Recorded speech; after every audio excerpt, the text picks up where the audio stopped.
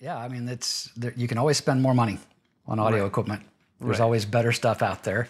Oh, definitely. And uh, I was out in Boulder, Colorado years ago. It was a business trip and uh, looking at uh, a couple of amplifiers that they had there. One that I was interested in particular, and it was a Creek amplifier. I was kind of comparing it to the Rotel amplifier, you know, kind of audiophile, mid-grade. and I heard somebody playing a saxophone in the back room, and really intrigued. So I go walking back there and walk into an empty room.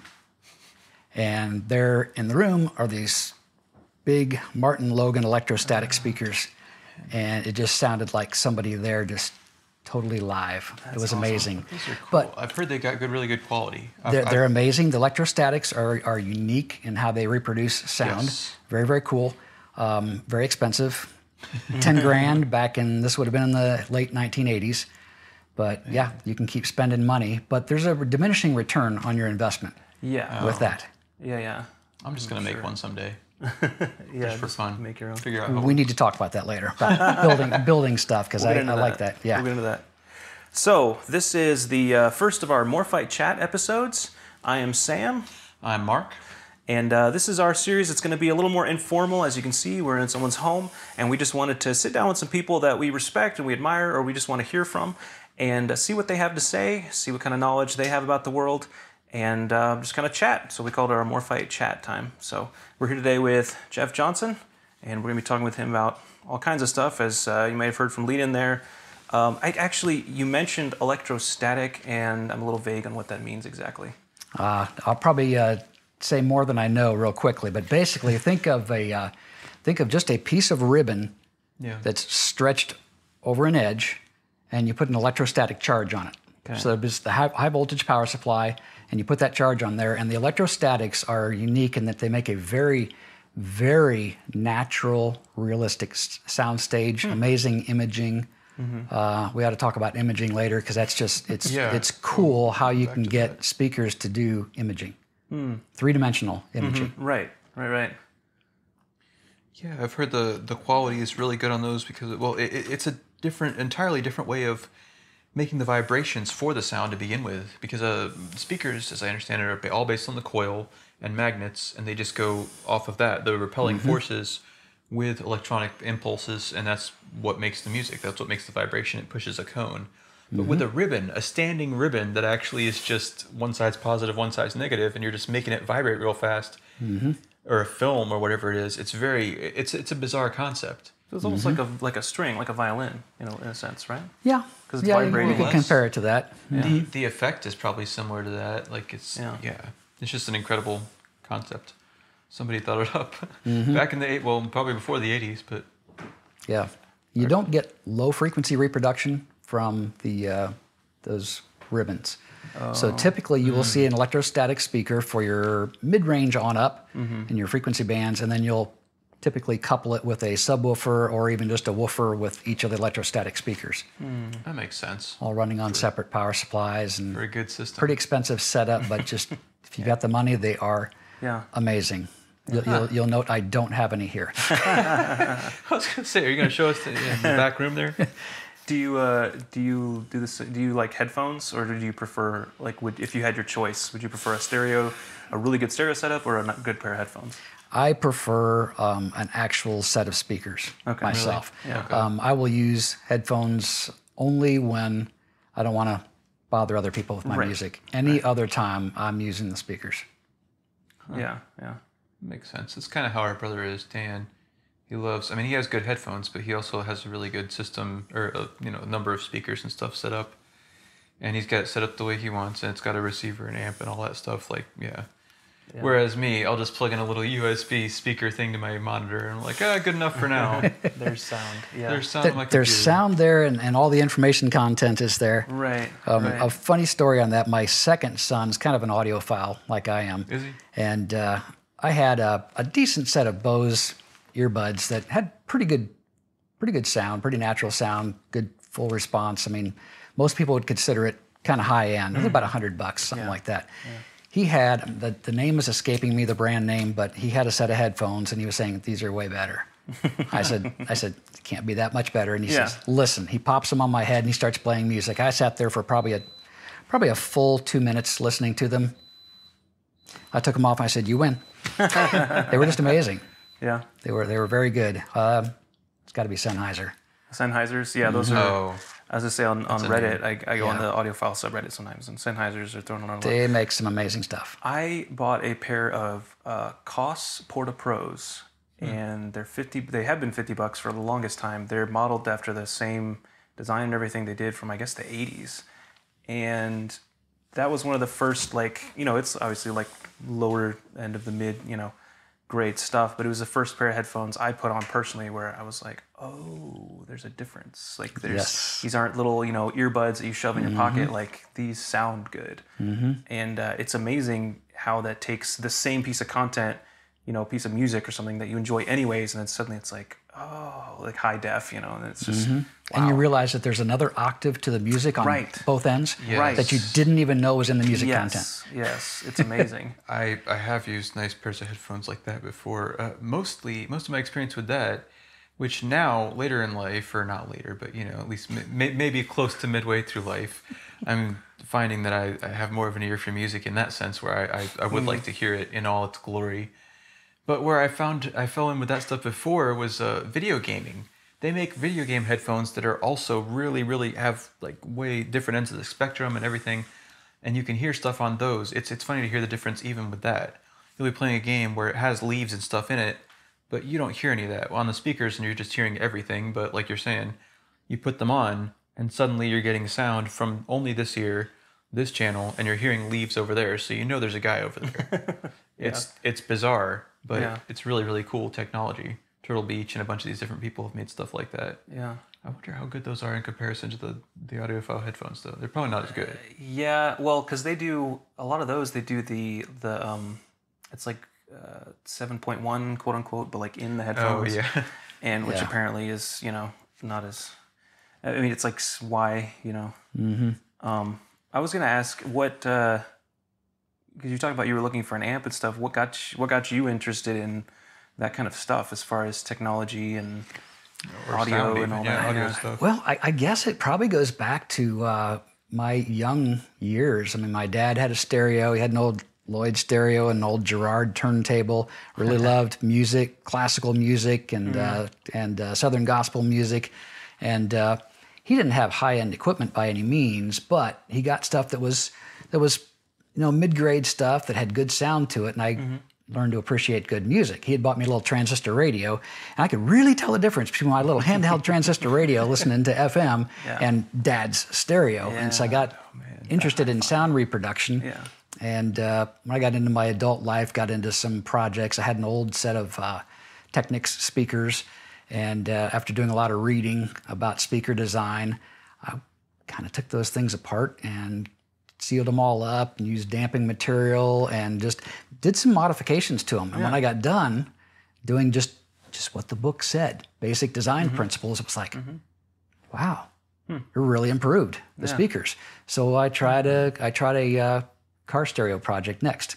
I actually had an old Honda Accord, and uh, I mounted a couple of eight-inch woofers in the trunk, but I'd cut out an opening in there so it would fire through the rear seats mm, because at the mm-hmm. time we didn't have uh-huh. any kids, and so we pushed that push that low frequency stuff right through the back seats. You never saw the speakers back there, but just added this all this bass content that before was not coming through the door and dash speakers mm-hmm. at all.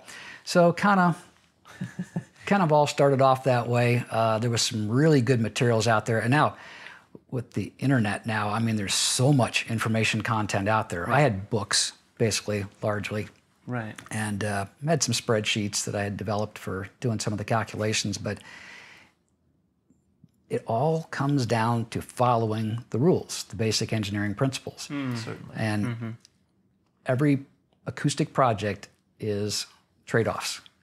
You always have trade offs. But the less trade offs you make, the better your result. Yeah. You get better and better sound. Huh. So it's always uh, a bunch of tricks. Yeah. Were you uh, formally educated in engineering or? Yeah. Um, from the time yeah. from the time I was in grade school, um, I wanted to be a scientist. Okay. I mean, I'm talking like first grade. I wanted to be a scientist. So I, I had, I was a geek from I guess the time I was born. Yeah. Um, that morphed in high school into wanting to go into engineering. And uh, ultimately, um, I, I did my uh, bachelor's degree in theoretical physics, math minor, got a master's in mechanical engineering design, went to work uh, civil service Navy, and uh, eventually reclassified as an electronics engineer. And then back in 1990, the FAA hired me as an electronics engineer. And tech support. I mean, think of tech support for the air traffic control system. That's what I do. Okay, And so we did did acoustic projects and electrical projects, mechanical projects, civil projects, just all these things. It's fun. I mean, for me, Yeah. I'm kind of an academic mutt anyway with my my background, and I have Yeah. a short attention span, so always doing different things is great for me.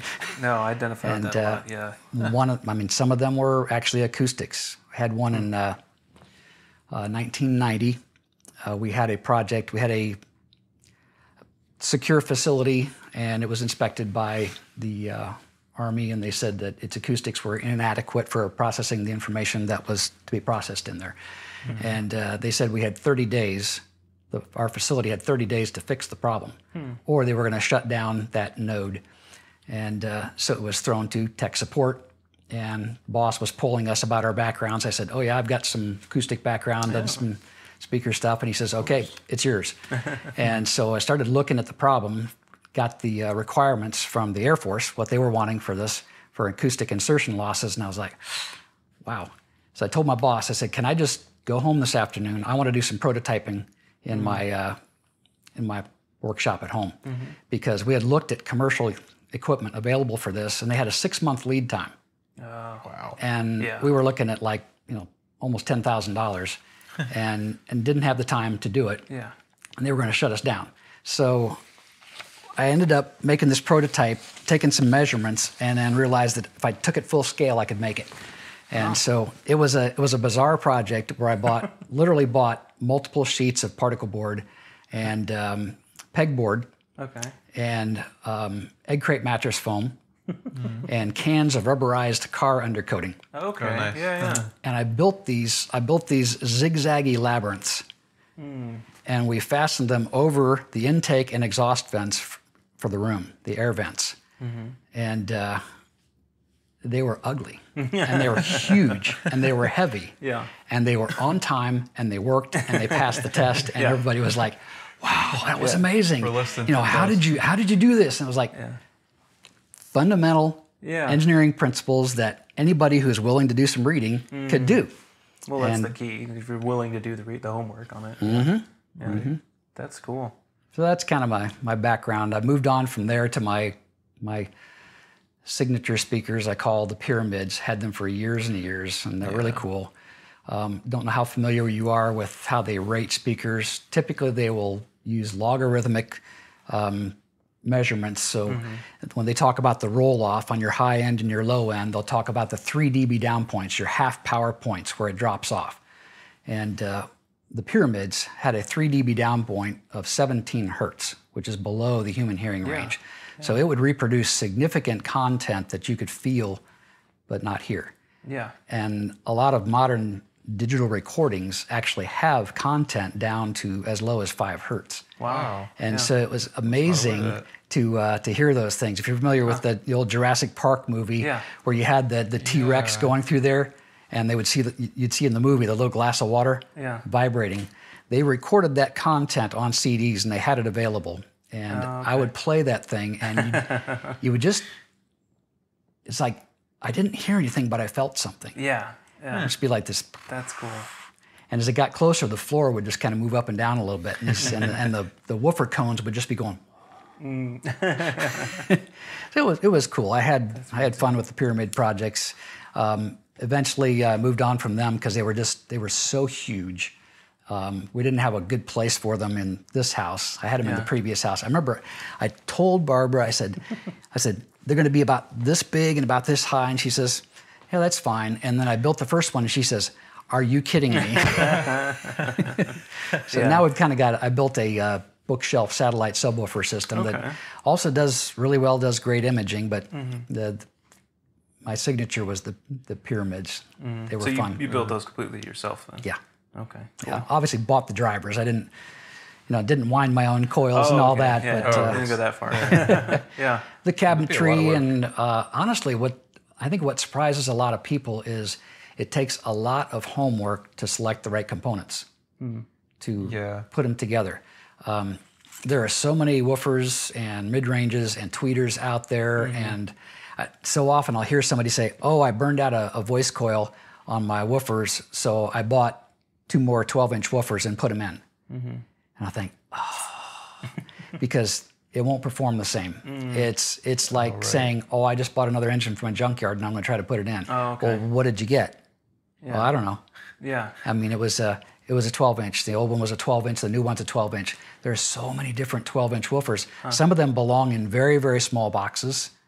Some of them belong in what they call an infinite baffle. It has an open back like you would use in the in trunk deck in a car. Okay. That kind of thing. And then some of them are intended for bass reflex.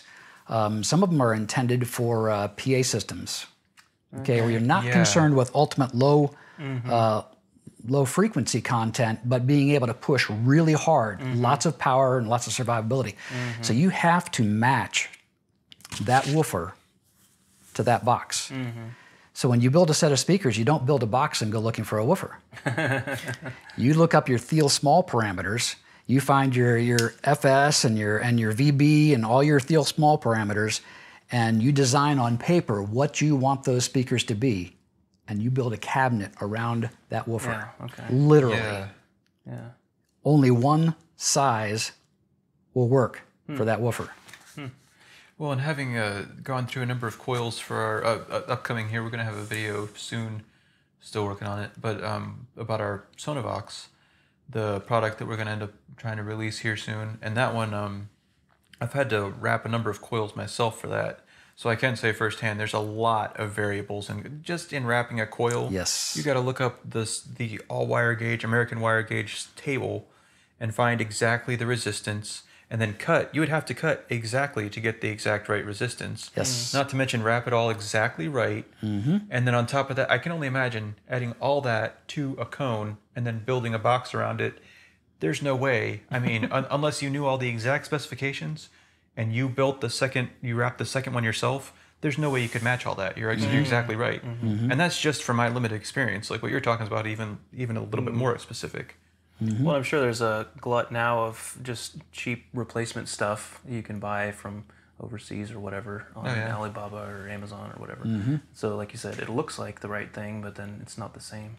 Oh, absolutely. And honestly, you can take a, a cheap woofer, and if you design the right box for it, you can get decent sound out of it. Okay. Performance. But take a cheap woofer and slap it in the wrong size box, Yeah. And it's pathetic. it's really pathetic. Oh yeah. You mentioned uh, imaging several times. What is that about? Okay, imaging is fascinating, and it is the um, it's the holy grail of sound reproduction. You know, these days uh, people want to just bring a sound processor into a room, a five plus one, seven plus one processor. They want to mount speakers all over the room, front speaker bar, so they can place that stuff everywhere they want. You know, vehicles coming in from behind. Uh, to do three-dimensional sound with two speakers um, is a lot more sophisticated. Yeah. So you have to you have to do a lot of interesting things. First of all, human ear. How do you determine where something is coming from? A sound. Uh, It's all stereo, so No, do, our voice talking. does the How do you know where I am? If you close your eyes right now, how do you determine where I'm sitting? I would assume it has to do with the shape of the ear, and then you feel the vibrations. There's some sort of microprocessor in my brain that tells Okay, me. but if you have one ear, how do you know where I am? Hmm, now that I do not know. So it's based on time difference of arrival in the two ears. right, right, right. Oh, okay. okay. That's how you determine where something's located. So in recordings, they record not intentionally, but by virtue of recording, you record those time differences when you use stereo microphones. Mm-hmm. Okay?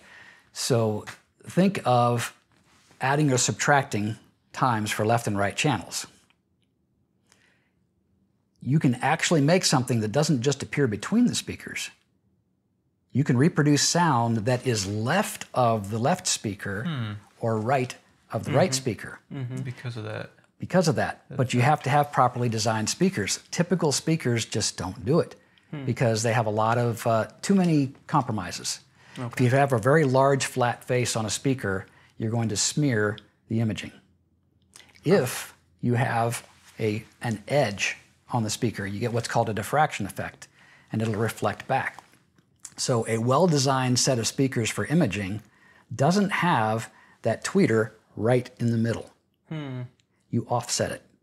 So the time difference of arrival to the right edge of the speaker and the left edge of the speaker are different times. So if you get any kind of edge effect and it comes back, it does not destructively interfere with the signal and smear it. Oh, interesting. Mm-hmm. It's a fundamental thing in the construction of the speaker. Yes, it is. Hmm. So there's a whole bunch of little little design things like that that can improve it. So my mm-hmm. my pyramid speakers I told you about, mm-hmm.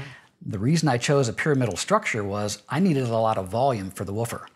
So the bass was was pretty big, but as it came up to the top, it came up to a very narrow face where the tweeter was. And the tweeters were offset by 3 eighths of an inch from the side. I used uh, one inch soft dome tweeters because they do a pretty good job with imaging. Um, often you get problems with um, your mid range being interfered with by a lot of acoustic energy from your woofer back feeding into the baffle of the mid range.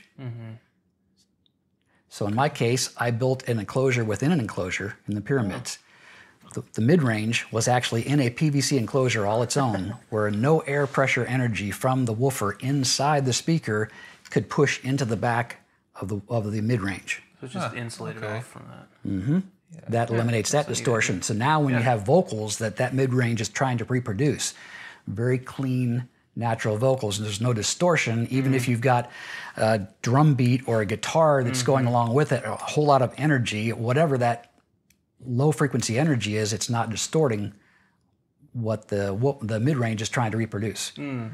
Um, so just a lot of little things. You often get what they call um, resonance or standing waves inside of a speaker enclosure. Heard that before. The worst thing you can possibly do is use a cube.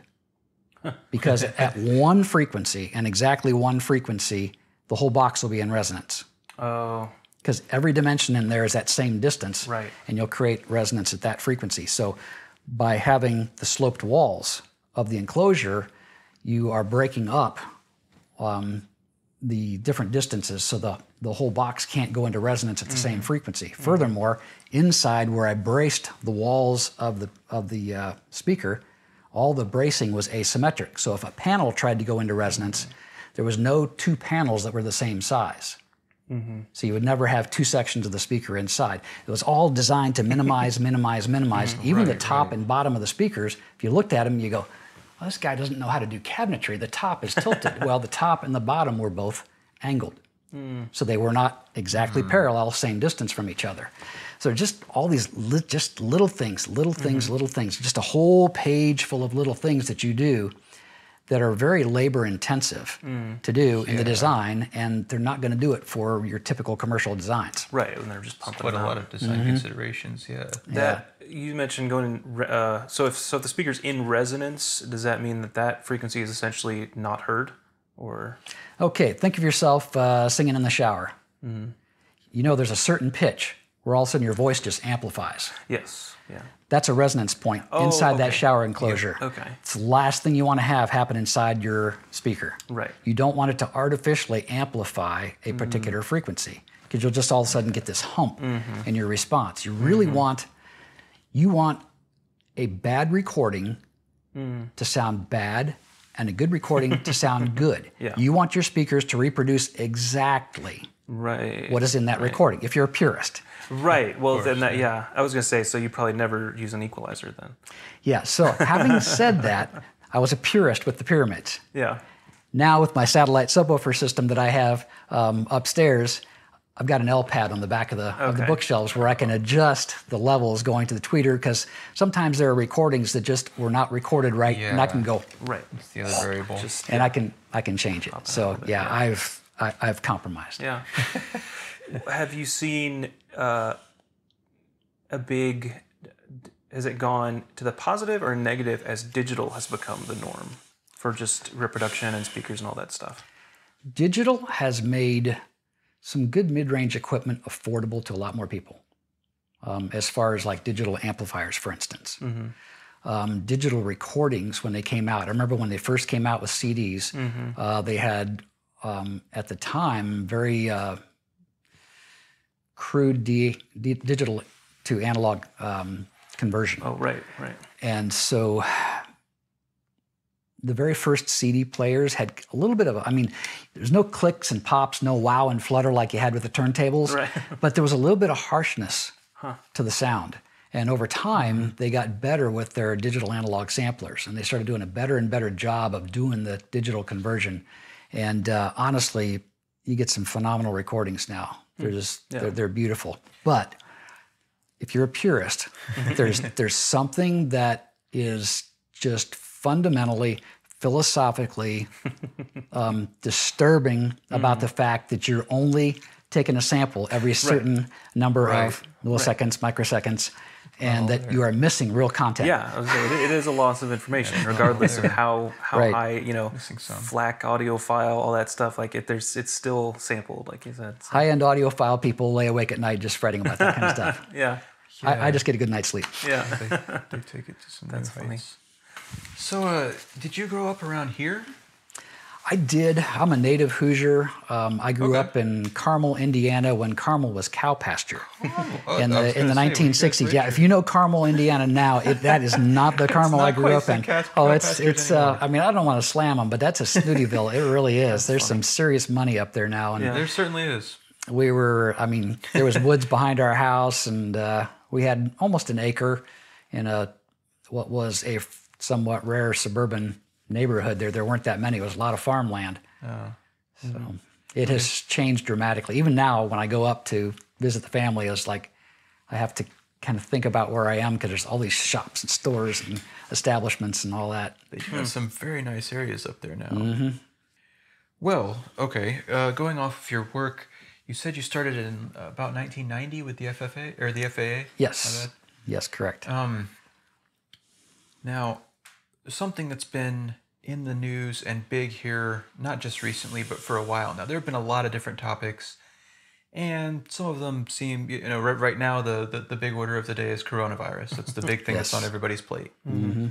But in uh, recently, and it's something that's been talked about for quite a while, is climate change.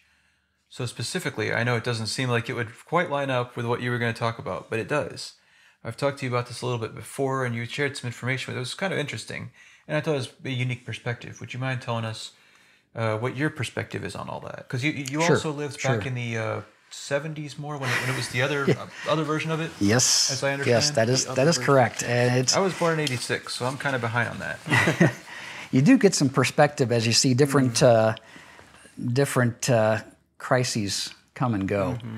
Um, and Yeah. Oh, first off, just really generally, since you've grown up around here, would you say the weather, just as a general question, has changed a lot from when you were a kid to now? Just in a very general sense. a couple of times. Okay. we went through uh, when I was a little kid. I remember there being a lot more snow and then there wasn't for many years, and then it seemed like there was more for a while. And the last few winters we've had here have been real duds, which is a bummer. Yeah. I actually like the snow. Yeah. I enjoy snow. Yeah. I don't like it just to be cold. If it's going to get cold, I want I want snow. Right, it'd be worth it. yeah. Yeah, that's funny. So as far as the uh, Yeah, I don't know where to start. climate change, yeah, it's hard to know where to start. Let me start with this. Um, I'm one that tends to dig a little bit, and try to get Yes. get behind the, the story a little bit and find out where things I are coming from. That. Yeah. So when I was working on my physics undergrad, um, there was a one of my profs um, said that there was a study done um, that, that claimed that the speed of light had changed over time. It had it used to be faster and it had come down and slowed down and then now was relatively fixed. And I mean, physics has said for decades now that the speed of light is constant. And when you do your physics calculations, you always assume that it's a constant. So that intrigued me. So I started started digging, and we didn't have the internet back then even. Mm-hmm. yeah. Some library and just looking around, I finally got to the original study that this guy did on the speed of light, and I thought, here we go. I'm going to mm-hmm. find out what he did and how he tested this. And I delved into the report, and I got done with it, and I was like, Are you kidding me? this is the most unscientific thing I have ever seen. I thought, I wonder if all scientific research is this way. and then what, a, yeah. what a tragic Yeah. disappointment, you know, because uh, people kind of people have a tendency to idolize science Very much so. um, and and prioritize it. And what I've found, I don't want to be unkind, but what I've found over the years is there's an awful lot of so-called science that is highly political. Mm-hmm. It's motivated by research money, um, and just uh, there's there is intellectual competition between researchers. Mm-hmm. There's mm-hmm. just a whole lot of underhanded stuff going on. There are there are researchers researchers that have have tricked and supplanted and robbed from others, and mm. it's just not the pretty picture that you see. And anytime you see something trumpeted in the news in the morning, science has proved, mm-hmm. science has discovered, just put the brakes on, mm-hmm. slow down, and go and do some reading.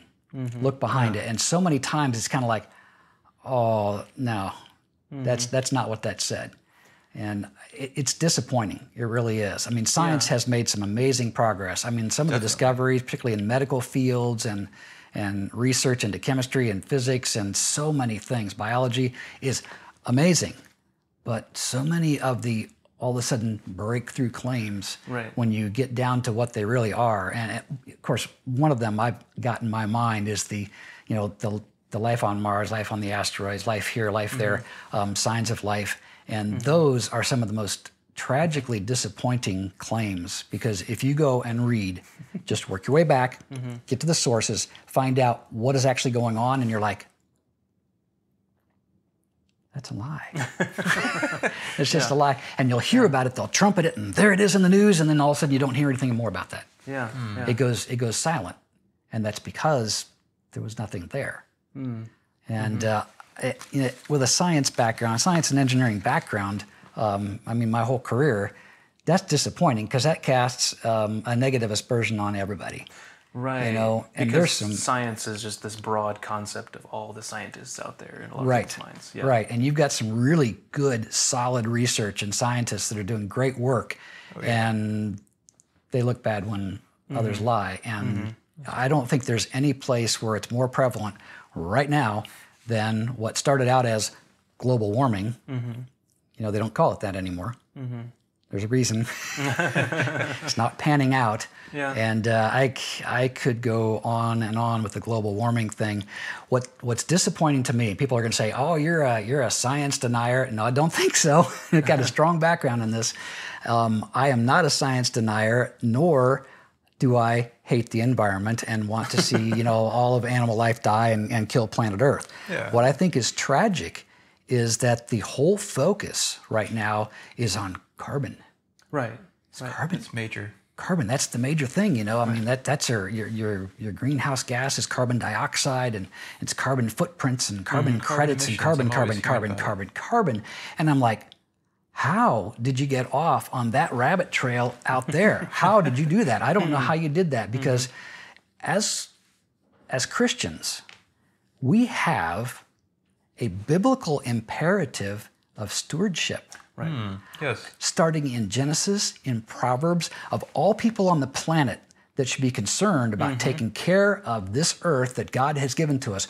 Christians should be taking care of this earth. It's an mm-hmm. excellent point. And so, what do I see? I see people jumping on the climate change bandwagon and screaming about carbon, and they are some of the most tragically waste, wasteful people and mm. thoughtless people um, oh, I agree. it, it's it, it's amazing, and I mean Hmm. we are absolutely trashing this planet, and nobody seems to care as long as it doesn't have the word carbon in it, Right. Right. Yeah. and that's uh, that's bad. And we've had a lot of things. You know, remember Al Gore's movie, you know, Yeah. The Inconvenient Truth, and there was a lot of uh, deceitful stuff in that. Hmm. Um, really was not on the up and up. And uh, I don't know if you've heard of the IPCC, the Inter- International Panel on Climate Change. It's a world consortium of all these scientists, and and they would publish a lot of things, a lot of kind of alarmist things. And years ago, they they said that within hundred years, sea level was going to rise by 100 feet. Okay, and everybody was like, That's pretty drastic. Yeah. well, it was, and they were they're making all these computer models, and the problem with computer models is, y- you give me a set of data, you give me a result that you want, I can get a computer program to get you there. I can model, I can make it happen. So Find the you have to have intellectual honesty when you make these models. Um, the IPCC um, eventually could not support that, and they dropped it down and dropped it down. Then it was down to 20 feet, then it was down to 10 feet, and then it was down to four feet, and then it was down to two feet. And people who were the the climate hystericals pushed back on the IPCC, saying you've got to step it back up again because nobody will pay attention if you don't. And so they brought the they brought the level back up again That's on what the prediction was for political reasons, so that people would not say, "Oh, everything's okay." Right. That's intellectually dishonest. Yeah. Yeah, I'm uncomfortable with that. Yeah. very much so. And as Christians, you're right. We should be, and we should be. Yeah. Mm-hmm. What did, once wasn't Greta Greta Thunberg involved with them or something recently here? I'm not sure. Or she spoke I at know one of she's those been. things. She's had a lot. Yeah, she's I was trying in to a think lot where of I'd heard of them recently, but I believe it may have been in relation to her. Yeah. That what's what fascinates me about that is, I'm of course I'm I'm uh, a bit of a cynic, so I'm always my question is always uh, where's the money going, and you know is why. I mean I'm the why person anyways. I ask why on everything, but then you know like you said, y- when things go up and then down and then back and forth, and you're like why? Like well, who's benefiting from this? Do you have any insight or opinions on that? I I pulled this because I wanted to be able to read this. This is from Okay. Investor's Business Daily, and they're a pretty neutral organization. You know, they're not a not a political agenda, but they talk about this. Obviously, climate stuff affects business. Oh yeah. Clearly, I mean, there's a whole lot of things. One of the big things that it, that is is affected is if you're not a green company, people aren't interested in you. Right. So if you do nothing more than put green in your name, you've at least made some progress. Yeah. Okay, so making the world a better place. yes. We should be green more fighters. So we had Paul Ehrlich from the 1960s, and Paul Ehrlich was uh, was a big uh, con- conservationist, probably one of the original green people, and he was trying to push hard to do the alarmist thing. And uh, he said that between 1970 and 1980, that four billion people, including 65 million Americans, would perish in the Great Die-Off. Wow. Okay. Um, it was a big eco, eco catastrophe. And he said, most of the people who are going to die in the great cataclysm in the history of man have already been born. And that was going to be um, 70s and then the 80s, and things weren't panning out. Um, I, don't remember that. yeah, exactly. Grandfather, one of those. So uh, the the problem was, and what he said was, the population growth is outstripping the ability to supply food, and so we were going to have billions of people that were going to starve to death. That was the wow. that was his uh, his basis. he was saying that back in the '60s. He wrote that in 1968. Okay, Yes, that's an old story now. it is an old story, but Not, not that particular. undeterred, but- in in 2017, um, proceedings of the National Academy of Sciences, he now said that human civilization stands in peril from going from an ongoing mass extinction on the Earth because dwindling population sizes and range shrinkages of vertebrates amount to a massive anthropogenic erosion of biodiversity and of the ecosystem services essential to civilization. So in the 70s, we were going to die from overpopulation, and now in 2017, we were going to die from underpopulation. so here we go, Wow. back and forth. And uh, yeah, something I mentioned to you, Mark, um, some weeks back was um, in the 70s. And, yes, yeah. you know, I was, I was a teenager in the 70s, and I remember the big scare. And I mean, there was mountains of scientific evidence, scientific proof that we were dying of global cooling Okay. Um, the the entire universe was cooling off, planet Earth was cooling off, and we were all going to die of what they called heat death It was for certain. at the time. It was for certain, and science mm-hmm. had proved it, and anybody who didn't believe it was a science denier. Mm-hmm. And then it all kind of lost steam after they realized that actually nothing was happening. so, wait a couple decades, and here we are with the global warming thing.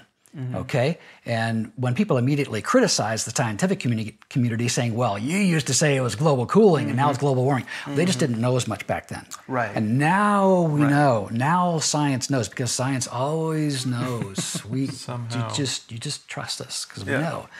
and again, we have a lot of intellectual deceit hmm. with the global warming thing.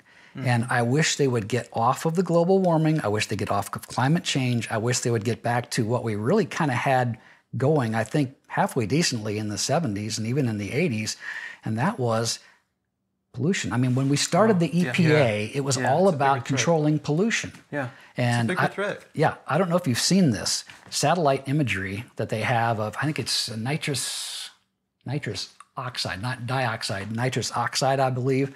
Maps, the pollution maps from mm-hmm. satellite uh, over China. It's all oh, cleared. Oh, It's gone it's gone.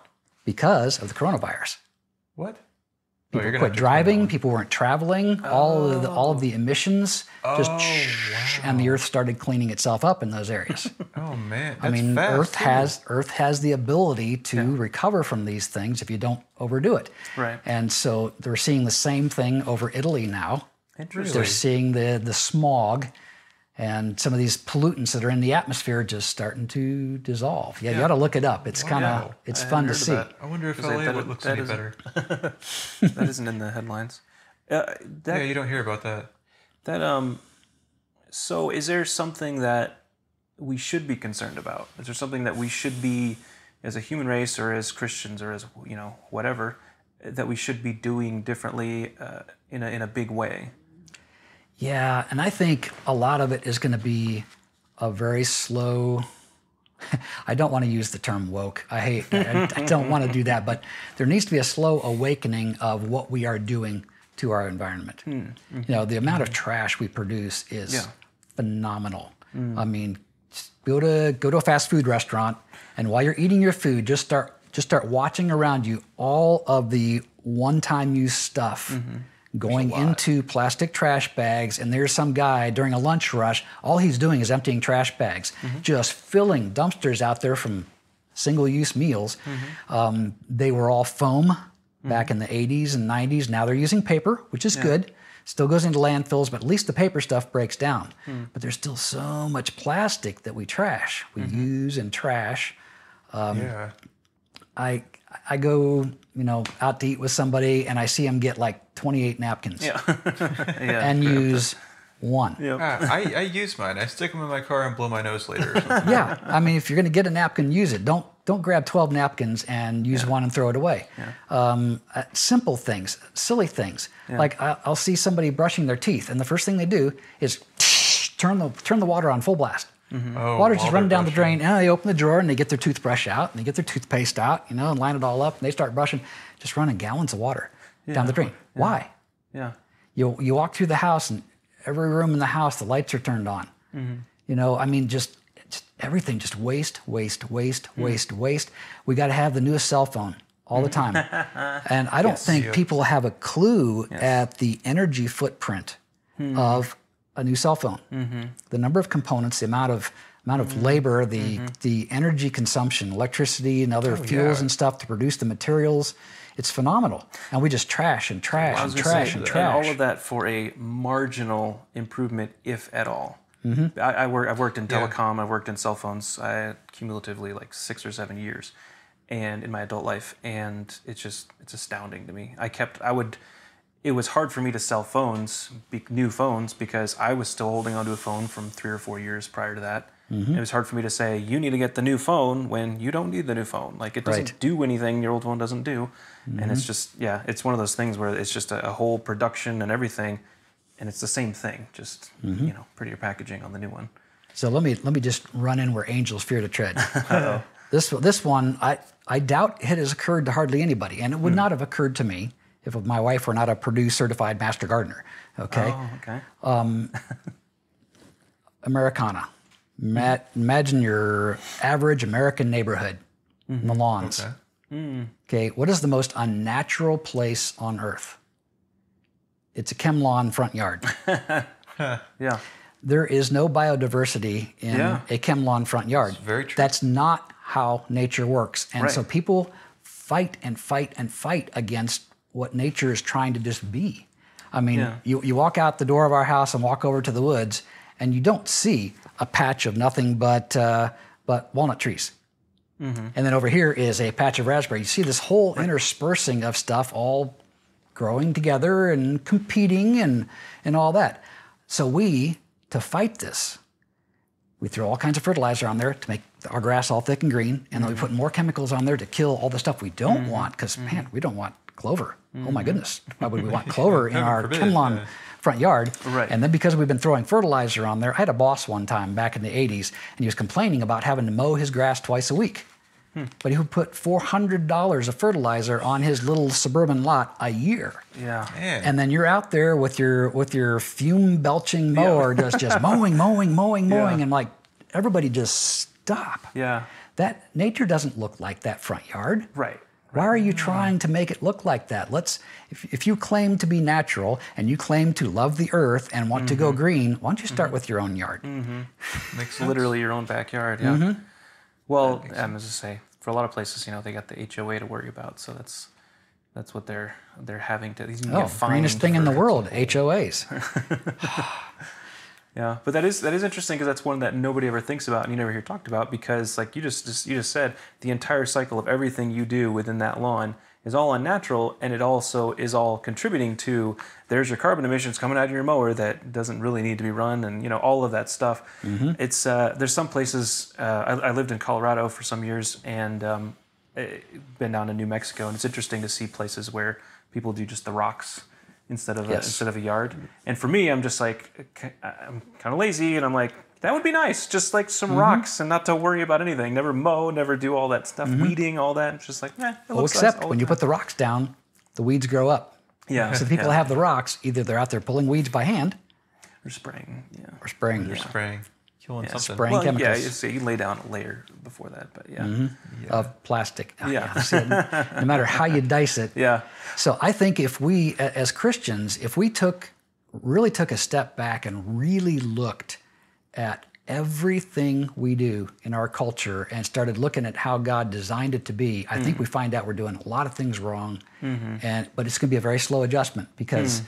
we have to learn a few things and teach our children, and they learn a few more things, and you make a very slow walk back to what should be the true green movement where we really love the earth and are mm-hmm. taking care of mm-hmm. things as good stewards and not this politicized um, absolutely off the rails wacko thing that we have mm-hmm. for climate change today mm-hmm. that's just it's nuts it's not it's not saving mm-hmm. anything it's not saving the planet at all Right.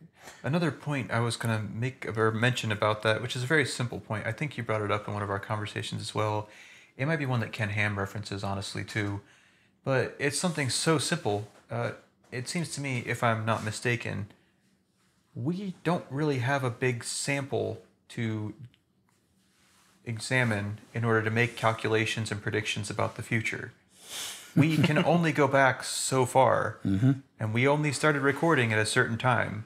And even then, not all of that recording is accurate. Hmm. But on top of that, we only have from here to here in a space of time that is like that. It's way bigger than I can hold my arms. Mm-hmm. So in the end, I like I said, I don't know if it was you or who was making this point, but we don't know what quote unquote trends really are for the Earth. What's normal mm, for the Earth? What's abnormal? What should be happening? What shouldn't? We're sitting here going, is it cooling? Is it warming? And then we're going nuts about either one. Like we mm-hmm. really, as Christians, we shouldn't be going mm-hmm. nuts yeah, we might because we don't even have all the information. How can anyone make that call in the begin to begin with? be, yeah, mm-hmm. might be looking at just a fraction of a meta cycle that hasn't completed yet, and we don't even know it. yes Yeah, and i think a lot of people have made that point and it's a very valid point um, i seems so. I me. get I get kind of tickled. I guess annoyed and tickled at the same time with some of these articles. I'm I'm call me what you want. I am a diehard young Earth biblical Genesis creationist.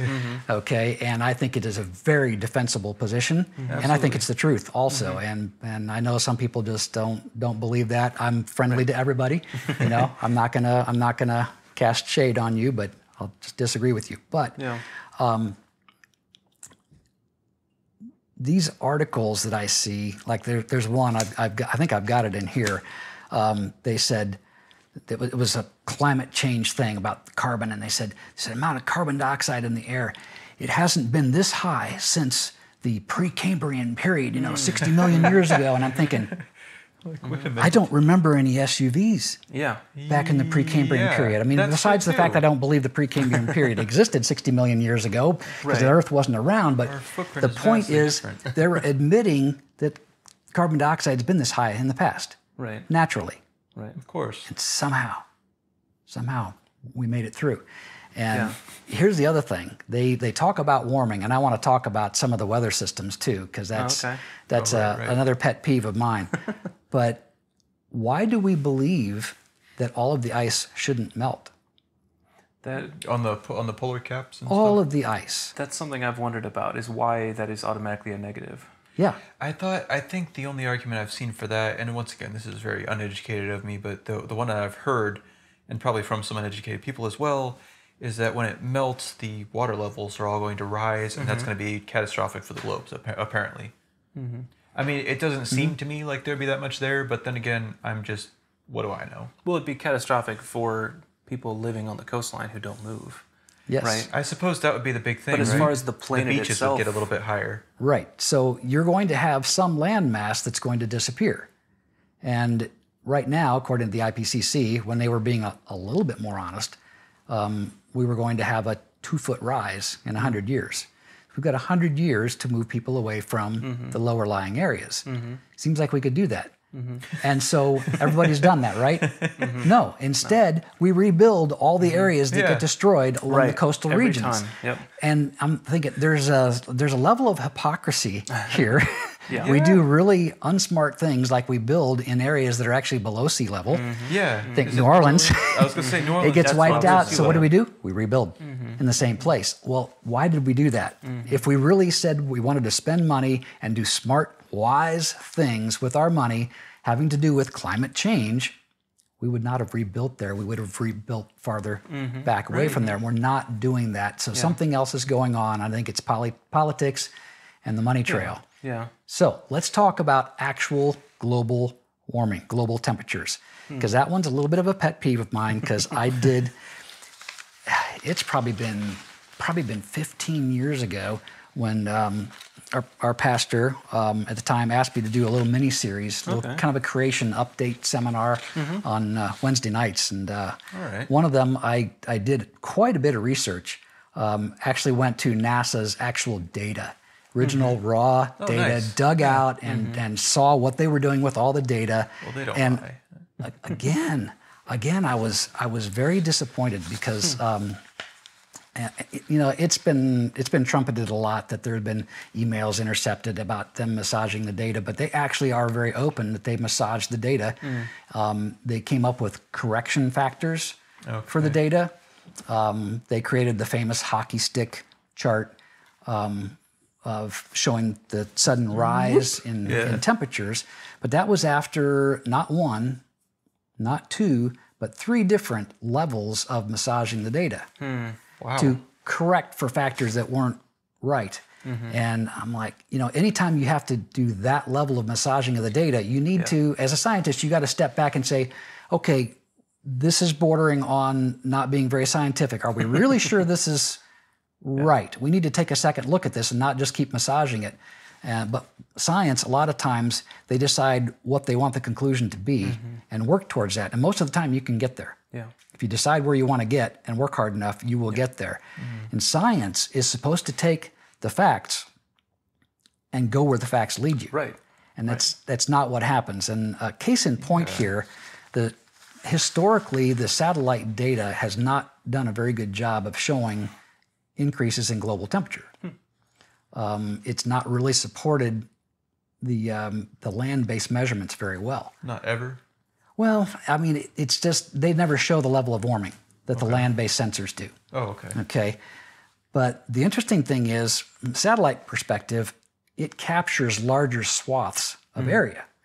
Where I don't know if you've seen any of the ASOS, AWOS type sensors. Sometimes you'll be going down the highway and you'll see this, this little station along the highway, and it's got a little spinning anemometer and a little weather vane and some other little doohickeys there, and then a little little antenna and maybe a solar panel. Yeah. Those are weather stations. and they are all over the place. There's thousands of these things all over the country. They're at virtually every airport of any size at all. Um, the uh, the AWOSs are airport weather observing systems. ASOSs are airport surface observing systems. They look at microburst phenomena, among other things. Uh, these systems are installed in many, many locations. The problem is they sample just the immediate area around where they are. Right. Okay, they can't. You got a temperature sensor. It measures the temperature right here. Right there. It doesn't measure the temperature even 10 feet away. Okay. So I actually went to one of my FAA classes I took. They wanted me to get up on some weather systems. They sent me to Oklahoma for a several week class on the AWOS system, Generation 3. And uh, during the course of the class, they said, by the way, they said, when you go back to your districts, be aware that a lot of these systems were installed incorrectly. Some of them were installed with the weather or with the temperature sensors over concrete slabs, over transformers, various things like this. And so they're, and they said they need to be moved. Yeah. But nobody had the money to do it. So even if oh, you right. reported it, they didn't move it. Well, guess what? Those temperature sensors all read warmer than normal. In some cases where they put the systems, they later built buildings that had exhaust vents too close to these, putting out slightly warmer air. So you got just numbers of systems all over the country of the ground-based systems that are reading Skewed. too warm. They're skewed. And if you went 50 feet away, you would get a different temperature reading, and that would be closer to what the average for that area is. Right. Furthermore, you don't see these things out on the side of a mountain. They've got to be in accessible locations. Hmm. So they put them right along highways. And I don't know if any of you do motorcycling, but uh, in, in weather like we've got now, where it's like, you know, 40s in the morning, I bundle up in my motorcycle gear and I head down the county road. And man, it's, it's cold and I can hardly wait to get to the interstate. Why?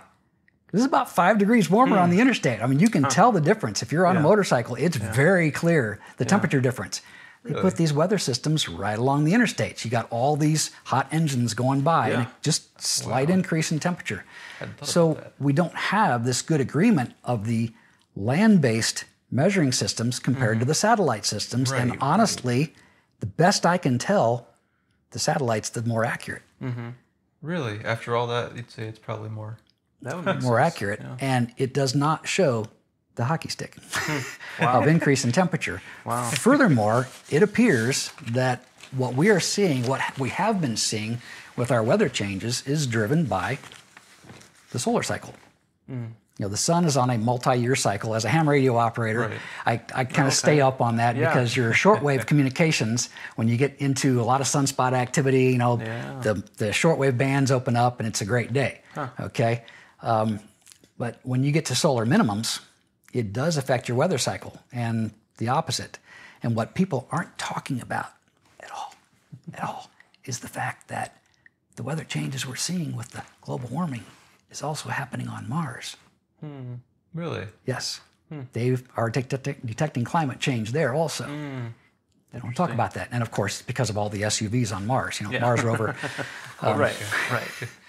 So yeah, that's this is a little bit of a hobby horse. Now I'm probably a little a little animated here, but the, the level of dishonesty concerns me. Yeah. You know, with my, so, my science and engineering background, I, I have a disdain for the dishonesty there. Yeah. Am I saying climate doesn't change? No, climate changes all the time. Mm-hmm. Deserts, deserts, uh, you know, change, and some areas that are nice, lush areas start drying. Mm-hmm. I mean, things change. Yeah. The problem is in the dishonesty. They talk about sea level rise because islands are disappearing. Mm-hmm. Um, after the Fukushima disaster, you remember that one in, in Japan. We had the tidal wave that came in, hit the nuclear reactors, you know, and all that. Oh, yes. Well, tectonic activity. And I remember reading an article talking about sea level rise, and they used the southern tip of Japan as proof positive that sea level rise was happening. The problem is the tectonic activity actually lowered that end of the island. They mm. now have, during tides, they have water coming up into a street hmm. on there because it was almost at sea level. That's the kind of intellectual dishonesty that we're seeing. Mm-hmm. And so, do you think people are really going to get on board with this hmm. if you're not being honest? Yeah, So, what yeah. they have to do is they have to play the, the deception game. And I want to give you the rest of the quote from this, uh, this article in an Investor's Business Daily. because it just kind of it states better than I could. the failure to enforce rigorous scientific standards and publicly denounce alarmists and charlatans has left many Americans feeling hoodwinked, disregarding all environmental research, which is a shame. But truth and accuracy don't seem to matter to many environmentalists. The late Stanford University climatologist Stephen Schneider told Discover magazine in 1989 We have to offer up scary scenarios, make simplified, dramatic statements, mm. and make little mention of any doubts we might have. Mm. Each of us has to decide what the right balance is between being effective and being honest. Mm. Mm-hmm. Wow. That was right out of the mouth of a client, uh, climatologist. Yeah. You just said yeah. that. Wow. Yeah, that's, that's pretty incredible right there. Yes, it's it's an agenda. It's political, yeah. and it has it has caused Americans to go, as I said, off the rails with carbon mm. when that's not the real issue. In fact, um, you tell me what is the predominant greenhouse gas on Earth? See, and I, I would have had to have said probably carbon. You would have to say carbon dioxide, right? The only yeah. one I've heard. So but much. it's not. It's not. The primary car- uh, greenhouse gas is water vapor. Oh. Water vapor, oh, and and depend, depending yeah. on weather phenomenon, water vapor can be anywhere from 66 to 95 percent of the greenhouse wow. gases. Wow. Carbon dioxide falls yeah. way short of that. Yeah. Um, methane, although it is less, um, well, there's a lot less methane than there is carbon dioxide. It's a much more potent greenhouse gas. Mm which is interesting. Mm-hmm. So that's why some people want to get rid of all the cows. Right, right. you know, I'm, I'm saying, time out. We're supposed to be good stewards. Right. We're not supposed to get rid of the cows. We're not supposed to get rid of the steak burgers. Yeah. yeah. Yeah. Yeah. Yeah. If anything, yeah. we need better meat. Yeah.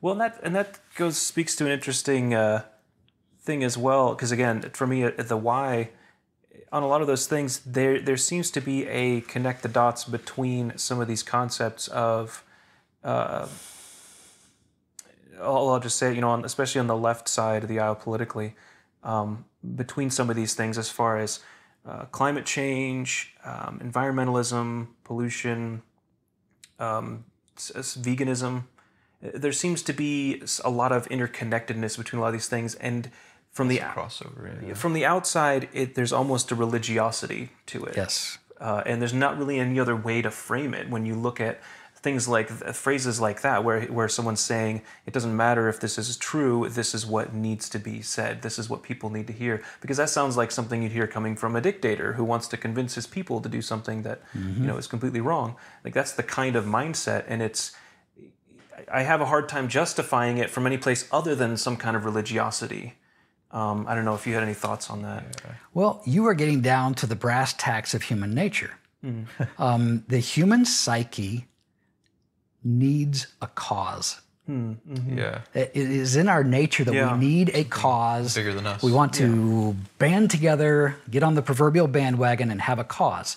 And people who are shrewd leaders realize that. Mm-hmm. And they yeah. tap into that. Mm-hmm. And so, if you have a political agenda, create a cause, get people drummed up on that cause, right or mm-hmm. wrong. I mean, I'm, there are shrewd people who do very good things by drumming up good sentiment and get great things done. Mm-hmm. But the opposite is also true. Yeah. You can take yeah. somebody who is who does not have the people's best interest in mind. He's got political motivations, yeah. financial gain motivations, whatever, mm-hmm. and he can manipulate a group of people under the banner of a because mm-hmm. to do things that furthers his agenda with a bunch of people that aren't being given the facts Mm. The facts mm-hmm. are being hidden from that, and only certain things are given to them.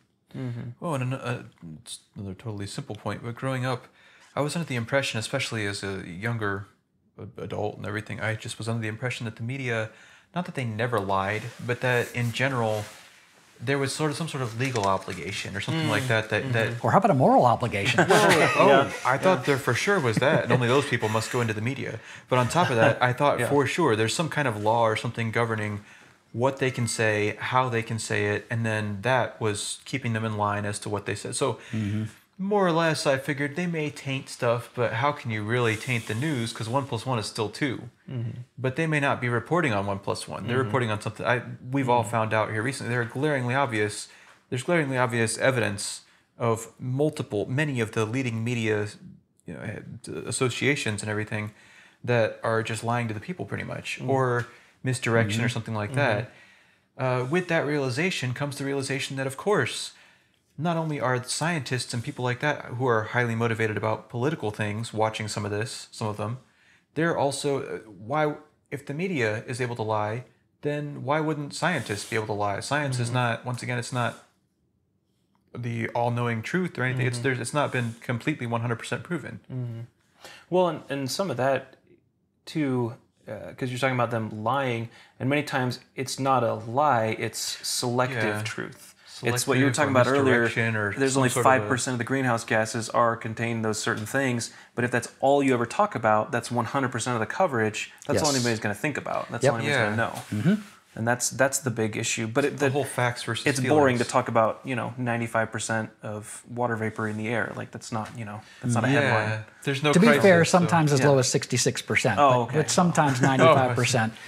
We're safe. Right. Yeah, you're you're saved. It's okay. Yeah, it's, it's, a, it's a variable. It changes based on atmospheric conditions.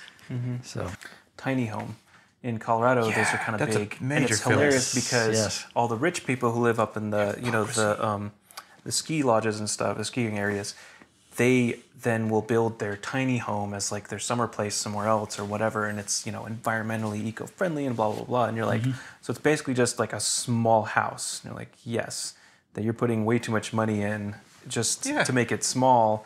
You're Mm-hmm. like, there's a lot of people who live in a tiny home because that's all they can afford is a tiny home. Like, it's Yep. just hilarious that that's you know hip and in you know to, Yeah. to make this tiny little. Yeah, I, I recently watched a, a thing about a, a, Okay. a documentary about people who were in a tiny home in Colorado, I think it was, or something. Two people. They, they raised, they had a Kickstarter where they raised money to make this tiny home and to make, to buy cameras and other stuff. The boyfriend was big into it.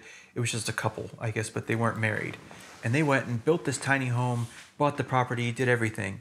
He spent about a year making it. They lived in it for six months, split up, went their mm. separate ways, and they both had houses the entire, or they both were in at least another house the entire time. so in reality, they did all this work and put all this energy and everything into making that, only to not use it. Now I think he was selling it or something. So but they, they, the, the whole point was they made a documentary about tiny homes and living Yeah. in tiny homes, and that's what they made their money on. They actually made a bunch of money off this documentary. They sold it. They're, it's still selling on like Amazon Prime or something. Oh, wow. But these people are total fakers. They're Yeah. not doing any of that. I say it was a movie set. they just there, there is a lot of hypocrisy in the green movement. Hmm. Tons of it. It's amazing. It's Yeah, one, one of the favorite ones is all of these all talk. these rich people, you know, the beautiful people, the Hollywood types, Yeah. flying all over the place to conferences on, Right. on climate. right, And their right. private jets, you know, Yeah, and all I've that. They don't that. care. Yeah. Uh, who was it? One of the I think it was Bernie was getting I off can a name off a plane few of 'em and already. like trying to hide, you know, because he had flown in a plane first class or whatever, or, or a private chartered flight, you know, because they talk about this stuff all the time, and then you see them doing that, and it's like, All of wait them a are minute, does it yeah. really matter then? I mean, is it really important to you, or is that excusable because it's you? You know, are you above it? Is it just for It's us? just like, yeah, yeah. Well, It's an the, interesting the, thought. the old saying is laws are for the little people Mm. Mm-hmm. Mm-hmm. to keep them under control. Yeah, yeah. 'Cause They don't they'll go too far down that because I'm I'm a big conspiracy nut, so uh, you can get into some Okay, craziness there. let, let's talk about Hillary Clinton. Okay, I used to Oh. work civil service Navy uh-huh. and Uh-huh. dealt with classified stuff. And I can tell you right now, if I did what she did in handling that classified material, I would be in Leavenworth. Mm, mm-hmm. Yeah. Oh, They would they yeah. would put me in there and Right. throw the key away. Right. Mm-hmm. She is powerful. She's rich. That's why she's untouchable. Yeah, yeah. There's no She's denying got a lot of connections. So, Uh, yeah, the Clintons in general. There's a there's a lot. That's a big can of worms. We may have to make a whole another. That just is a one big can of worms. Speaking of documentaries. yeah, Right, Yeah, yeah. That's a big can of And worms. now, week 12 of the. yeah. Well, and that's always interesting when someone does a self-funded or self-promoted documentary about their themselves and how, you know, the things they've done for the world and whatever. that again, I'm a cynic, so immediately I'm like, yeah, you're sweeping something under the rug. You're just, you know, it's it's just a puff promo piece on yourself. I know. It's hard for me to trust anyone who does stuff like that. So Yeah. It's kind of hit home with us. Uh, you were saying as Christians and stuff, we should be responsible with all this. Well, e- even just e- even not as Christians, um, in some ways, it, it behooves people to just be good with your. Uh, you were talking about the, all the waste, the plastic, all that other stuff. In many ways, we waste energy, and there's a lot of potential energy that could be tapped into. We were talking about here recently, up in Portland, which is a terrible area, but up in Portland, they, they do put in they do do a few things that are a little bit uh, little progressive, but maybe it's it's a good direction to go for energy wise. They had this idea. They put in turbines basically in their big sewer pipes, and well, in the inlet pipe for the water for the city that comes in because it's huge, and that's just an untapped resource there because you could, they made these low flow or they, they don't um, they don't resist too much on the flow of the Yeah, current of the water going through. yeah. Through. But it's low resistance. to These fins they turn. And with like so many of those turbines, they're like uh, they, they put in a section that had four of those in it, and they go, "This could power up to 150 homes."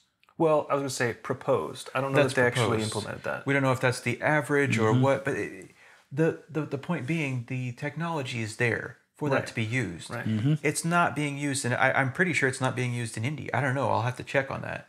But on the way in and on the way out, that's untapped resource that could be going to because electricity is probably our biggest bill. Recently, for the, the reason it's hit home for us is because recently here we started having to pay our bills a, little, a bit more. I know uh, no, normally we were paying them in a different way. We kind of had a thing worked out with our landlord. We did, we were doing jobs and work for him to help him out, and he, then he would pay the bills. And we were trying not to take too much advantage of all that. But it so happened after a certain time during winter, it slowed down a whole bunch. He had no work, and eventually we it just it's only fair we started having to pay the bills and help out with that. But as we're doing that, we're trying to cut back as much as possible because you know we're not rich, and we're trying to just cut out as much as possible. We're, we're not, we don't care exactly how our house looks if it's going to be really efficient. so we're we're ready to do extreme stuff there, and we're looking into all kinds of different things. We've been talking about oh man, uh, in the city. I know there's kind of there are regulations to places like California, but we're talking about everything from rain barrels to we we distill all of our water because we don't like the tap water from the city as much. Uh, we just like to be clean and safe, so we distill all of our water. Uh, try to do that in volume. Drinking water. Drinking water. Water is another big one though. Is a it's not huge, but a tankless water heater.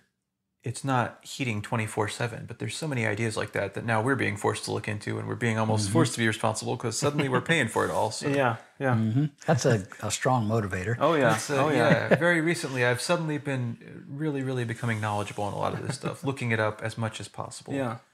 Which it's got to be nice out here. Um, as well, one as Christians, I think the natural way is usually the better way to do things, if possible. Uh, if there is a more natural versus, you know, man-made stuff. But then again, God did make us to solve problems too. It must be nice out here, though. I was going to say, uh, what do you find as the pros and cons? Because you're kind of out here in the middle of, not the middle of nowhere, but it's farmland. You're not surrounded by, you said you're on your own independent system as far as septic, water, you have a well. Um, what are the pros and cons of living out here versus, like, say, us in the city, directly in the ci- city? I'll tell you what the main one is, which will surprise you lack of access to high speed internet. Really? Okay. Is Yeah. it pretty hard out here? Um, actually, the only thing we can get right in this, we've got a strange little bubble right here, and we're very close to the interstate. But there's a strange Yeah, little bubble you're not far. where there's no there's no cable service, no high speed internet service providers. So the only thing we can do is we've got our we've got our little tiny Sprint box. It's a cell based thing. So whatever room you want internet in, you carry your little box Yeah. in there. Yeah. Or we use or we use the data package on our phones. Yeah. And uh, so that's a that's a downside of rural living. Yes. But I'll tell you what, I just I love waking up in the morning, particularly in the spring and summer, and you can look out north, south, east, west out these windows, and I mean crops growing, woods, Yeah. deer. You've got a garden I going just and all that. got the garden going, and uh, we just love it. Yeah. We grow Yeah. vegetables, and we got got an orchard, and it's just it's fantastic. And unfortunately, we have to share our raspberries with the dog. We had to share our, our pears with the wolves and uh, Oh, really? and, uh, coyotes and all That's these funny. animals that like to eat the pears. I and didn't know they ate fruit. That's funny. it, it's weird. The coyotes come and they eat pears, and then they love just defecating on the driveway. And I, just, Ah, nice. and Oh, wow. of course, you're not going to train them to Yeah, to do anything right. different. The deer will go and lay lay down on the corn and just lay big swaths of corn down. That's funny. But uh, that's part of sharing the ecosystem. Yeah. So yeah, yeah. That's interesting.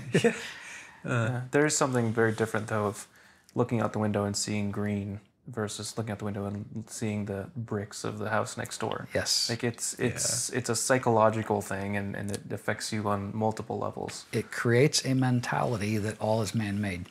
Hmm. So people that live in the city, it was very telling recently that a um, a journalist was mm-hmm. making the comment about people that lived out in the rural areas. Mm-hmm. Well, they made their choices, and that's why they're stuck in the rural areas. Hmm. They should move. They should move to the city. Mm-hmm. And I'm thinking to myself, whoa, whoa, who's the narrow-minded person here? Yeah. If he doesn't understand the concept that the cities are artificial Yeah. and that everything the city uses comes from industrial and or rural areas. Yeah. Yes. I mean that but that's what happens when you when you grow up in just a city and that's all you know and Mm-hmm. you haven't experienced other parts of the world, you develop this mentality that the Yeah. city is is what there is and that man is responsible for everything and and you don't see Mm-hmm. Yeah. God in the city.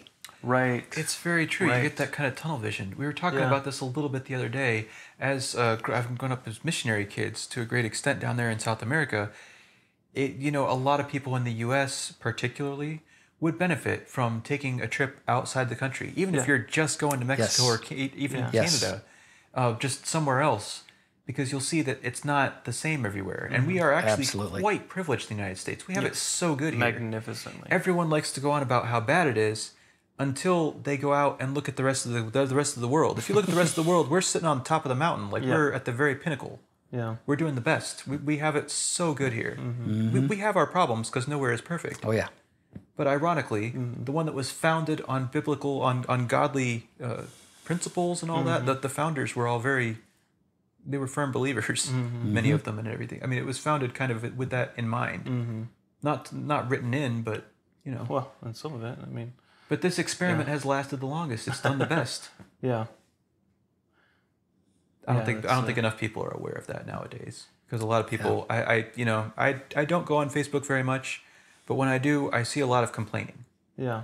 and it always astounds me. I'm like, uh, you didn't wake up next to it. You didn't wake up in Venezuela having to dig through a trash can for your breakfast if you found one, you know, or if you found some. Right. Yeah. Yeah. I remember one time we had a, uh, a couple that was visiting our church, and the uh, the young man had grown up in Indianapolis, and he had never been. This is what he told me. He had never been outside of Marion County mm-hmm. in his life, mm-hmm. Not even the county. ever. Not never been out of the county. Kind of blew my mind. and I thought, I thought, well, you know, I was a little dubious about his claim, but we invited the couple over for lunch to our place here out in the country, mm-hmm. and uh, so they hopped in our vehicle and we were driving out here. We're coming up 400 West, and he's just staring out the window and staring. And he finally said to me, he says, "Is that corn?" And I thought, wow. I said, no. I said, that, that's soybeans there. I said, the corn is usually about eight feet tall around here, the species that we, mm. oh, okay. Never seen hmm. a crop growing ever in his Wow. life. And so that kind of that kind of thinking that that changes how you think and how you perceive the world. If you don't have the breadth of experiences, Yes. and I'm sure there's a lot of things I would think about differently if I saw more of the world Sure. but I work sure. at it, and uh, and I I'm privileged enough to be able to do it, and I recognize mm-hmm. that. Mm-hmm. Some people are not privileged enough to do that, but mm-hmm. I'm glad that day we were able to give that guy broader experience. Sure. Yeah. He learned some stuff, and he was like, "Oh, he knew more about the world," and we Yeah. all need to do that. Yeah. We need to learn. Yeah. God left a lot of stuff for for us to explore. That was that, that was the next thing I was going to say. Yeah, God, uh, it, it- we've been discussing this recently too. He left, I think, at, at points in the Bible and all of His creation. I feel like God made mysteries for man to uncover. He made the earth for us to discover and have dominion over, and all that. He like he, he made it for us to the greatest extent. And that to that end, as Christians, there should be Christian scientists who, who are going out there who are trying to figure out those mysteries, mm-hmm. trying to see the science like that God made and put in motion, the things He set in motion, mm-hmm. that microscopic geometry that's in everything. You know, that's not by chance. That couldn't possibly be by, be by chance. You've got to be a well, okay. You have to be rather uneducated or just not. I, I don't know. I would believe it's the wrong conclusion to say that that happened by chance. Hmm. Right. Hmm. But I, I think God left a lot of that stuff there for us to discover and to use, and He, he wants us to do that. Right. So why not go and do that and find out about electromagnetism and how to make other other ways to make sound? And uh, I mean, that's another thing. We're largely built on vibrations. We're built on sound. We're uh, as humans, we're built to interact with sound in many many different ways. The uh, it, and it's there. It's present so many times in the Bible. Before the earth's creation, after the earth's creation, in uh, pivotal moments, the angels are singing. There's a lot of that, and even the earth, the, the very earth's creation itself, God spoke it into creation. I mean, He may have done extra stuff in addition to that, but I, it doesn't exactly say. But it definitely says He spoke the words. Mm-hmm. All this leads back to vibrations. It, it, it makes me, as a Christian, it inspires me to go want to explore that stuff mm-hmm. more and mm-hmm. figure out how it works and what did God leave for us to find and what what have we not found yet? Right. What have we not tapped into? Yeah, Why can't I lot. fly yet? You know, I mean, I, I, I kind of want to know. Yeah, yeah. There's a lot. Well, and and it's funny too. You were mentioning earlier um, the search for um, for life on other planets and all of that. The uh, I don't know if you if you heard, but um, uh, SETI that that they monitor the um, transmissions or you know lack of transmissions. They just decided to shut down the actual monitoring of all the transmissions and just go back to analyzing the data they've collected over the past however many years because they never got anything in but they're going to go back over their data and see if they can find something. But what that what bothered me about that is like what you mentioned earlier is the possibility of them massaging the data or saying well we think this might be something when you know there may be nothing there. They've just been listening to you know empty space this whole time. Um, but the, but that's not to say that there isn't things to explore and there isn't things to dive into and and to dig deeper into and and um, yeah, like you said, I think that's part of why God gave us such a such a strong, curious drive to want to dig Yeah. into things and to want to learn about things. And, Curiosity is definitely and, part of it. Yeah, Fascinating amount of stuff out in space. Hmm, and I hmm. think we are supposed to explore it hmm. and learn from it. I mean, it's just I agree. The, l- multiple lifetimes can be spent exploring space and all that's out there. And I, I feel sometimes like it's a real shame that the federal government has spent so much money on the SETI program. Um, and, and they've even tried to, it's, this was kind of one of the original crowdsourcing things. I don't know if you're familiar with it, but back in the day, and I think probably even up to recently, you could download a uh, program on your computer and become part of the network of computers analyzing the SETI right, yeah. data. Right. And I never participated in that because it just seemed like a waste right. to me. We have so much we can explore out there, but they're they're all focused on finding extraterrestrial intelligence. Right. Uh, You know, I personally, I don't think it's out there. Mm-hmm. My thing is, let's explore what we do see, and Yeah. if there's some extraterrestrial, let them come and find us. Yeah. Yeah. if they're that intelligent, right? Yep. Yeah. Yeah. Yeah, no, there's plenty of stones still unturned on this planet, I, I feel. Um, there's, there's places in the oceans that we still have not actually been to yet. There's species in the Amazon and in the Congo and places like that. They still daily are naming and discovering Yes. new things. yes. And uh, it, it, Or even there's old no, things. yeah, yeah, or things that yeah have been forgotten and then they're we're rediscovering. Came up from the depths. Yeah. I don't know if you've picked up recently in the last, um, I would say the last year, they're starting to find a lot of um, skeletons or more complete specimens of um, species that are basically the modern versions that we have now, but they're massive. They're huge. For instance, uh, just a few weeks ago, and it's another thing I printed up here, um, a turtle. And we think of the of the giant turtles that we see, you know, um, Gal- Galapagos turtles, and some of those big enough to ride on. Yeah, yeah, they get big. Well, they have unearthed one that was eight feet in diameter. wow. oh wow. Yes. And we're seeing they're digging up more and more of these really, really large versions of these animals from yesteryear, and it's kind of creating some, some a lot of questions in the evolutionary community. Yeah, I It's bet. it's upending what they think should be. And of course, from my perspective, for good reason. You know, if we start on the down the evolutionary uh, Yeah. trail here, uh, that's another another uh, passion of mine. And I have lots of good discussions with people who are evolutionists. We we, we have great discussions. What I find is they're never able to answer um, the ultimate question. They always want to pull Big Bang. And I always tease them. I say, "Yeah, I believe in the Big Bang too. God said it, and bang, it happened." Yeah. But um, the one thing they can't answer in their Big Bang is I ask them, what was the Big Bang? And they say it was an explosion. I said, what is an explosion? And they start describing it in terms of natural forces. Yeah. Where did those laws come from Right. Yeah. that define what an explosion is? And they're just slack jawed. Mm-hmm. Yeah. I also asked them about the three dimensional construct in which this explosion happened. Mm-hmm. Yeah, because that would be pretty space, right? The actual fabric of space itself, mm-hmm. where did that come from? Yeah. Why is it three dimensional? Why not four? Why are there dimensions at all? So many unanswered questions that they can't come to. I have a, a cousin, I, I, I dearly love him. He's older than me, but we had a discussion years ago. And uh, I did my normal thing, kind of walked him back and the whole thing. And eventually he said, Well, it all started with a hydrogen gas cloud out there. And I said, uh, I said, Well, Tom, I said, tell me. And this this is a sharp guy. I mean, he's a political science professor and just super sharp guy, you know, and and pretty honest too. I said, so Tom, you're saying that this hydrogen gas cloud just always existed out there? Hmm. He said, yeah, just always existed. I said, I said, is that really intellectually satisfying to you? Hmm. And he kind of hung in his head and he said, no. Yeah. Hmm. That's got to be a sad position to be in in some ways.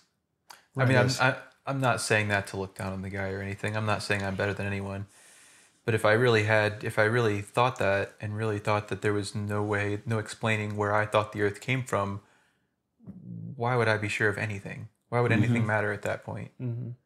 And, and as Christians, you know, it is not a matter of pride because we believe that God is there and God created us and we are absolutely subservient to Him and accountable to Him and we're going to have to give an answer for everything. Mm-hmm. There's no pride in that. I mean, Right. to, to believe in God, to be a Christian is actually a humbling thing. Mm-hmm. It better be. I mean, if you're a proud Christian, there, there's a problem. Right. Yeah. That's one of the biggest sins mentioned all throughout the Bible. Yes. Another rabbit hole we could go down. Yeah, That's yeah. one of my wife's passions. Just people say these certain sins are so bad. She says the Bible talks more about pride Yeah. than anything. Yeah. You know, in the book of Proverbs, it starts out, These six things does the Lord hate, yea, seven are an abomination, a proud look. Mm-hmm. How did that make the top of the list? Yeah. Yeah. That's true. True, very true. oh man, we may have to have a part two to this interview at some point here because Yeah. there are there are some other stuff, conspiracy wise, and other things that we, like I said, big cans of worms that we could get into. Yeah. Anything else you wanted to add or say? Been fun. I've- I've enjoyed it. Awesome. Oh, good, good. Oh, Thank you. just uh, I don't often get to just just yak uninhibited. So That's that's what we want for the format of this thing. Yeah. That's that's what we were looking for. We really appreciate it. Absolutely. I, I hope that, you know, I can't tell everybody what what's right, but I hope that the conversation itself stimulates other people to think. Oh, that would be my goal. Always, as as a teacher at heart, I'm always wanting people to think and to think for themselves. If I can, if this is a format that makes people go, "Wow, I need to think about that," Right. Or Awesome. need yeah. I need to Right, look that up. Right. Yeah. All right. Well, thank you very much for being Yes. with us today. We really appreciate you uh, interviewing with us, and we've we've had a pretty good discussion here. I would say it's been stimulating. absolutely. For us. Well, we Yeah, covered yeah. a lot of ground, and it was yeah. fun. Right. yeah. we got to do this again sometime. Yeah. Thank you for very you. much. You have a lovely home, by the way. Well, thank you. We we love it out here. A lot of sweat and blood went into building it. I I enjoyed it. That was one of our oh yes. How long did that take to build the home? I had a general contractor, but we did our own architectural work, did all of the carpentry, did all of the wood flooring and cabinetry, handmade all the trim. My wife, very, very patient because we moved in and it took me an additional five years to make all of the trim.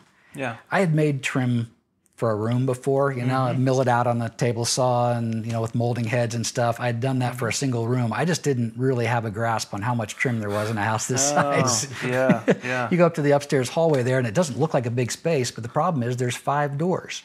Ah, man, and each lot to go door has two sides to it, and both of those sides need trim. Yep. There are so many feet of trim in that little Hmm. eight, Mm-hmm. 10 foot section of hallway. It's mind blowing. It's Yeah. a lot. yeah. It's a lot that goes. It, into it a makes house. you appreciate things so much more when you've had gotten your hands dirty on something like that. Yeah, or stitches in your thumb. Yeah, Yeah. yeah, yeah, yeah. Because then when you see it, or someone else says, "Yeah, I built that," you'd be like, "Well, good for you." Like that's that was something, you know. Like I, I don't know if I I'm would hardly a that. master craftsman. I learned my woodworking from my father in law. Yeah. My dad taught me how to work on cars and appliances. Hmm. My father in law taught me woodworking. And uh, he's, uh, he- I wouldn't say he was a patient teacher, but he persisted with me. And uh, the, the famous joke from the family was he would be trying to show me something and he would, he would demonstrate and he would have me do it and watch me struggle with it. And then he would say, Let me see that once. He just couldn't handle it anymore. He would take the tool back and finish the job. Yeah, yeah. That's funny. Oh, that, that is funny. Well, uh-huh. I could not think of a better place than that to end it. Could you? Yeah. No, that's great. Well, thanks. already. Appreciate it. It's been fun.